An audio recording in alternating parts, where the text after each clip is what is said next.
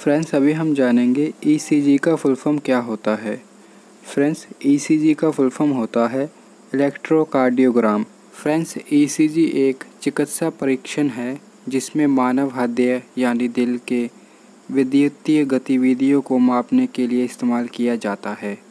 इस परीक्षण में शरीर के विभिन्न स्थानों पर चिपचिपा चिप जैसे विद्युतीय संवेदक लगाए जाते हैं, जो हृदय यानी दिल की धड़कनों को ग्राफ के रूप में दर्शाते हैं।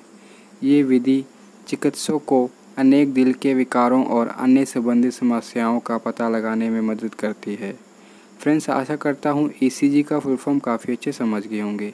ऐसे ही और फुल फॉर्म को हिंदी में जानने के लिए आप हमारे चैनल में विज़िट भी कर सकते हैं। धन्यवाद।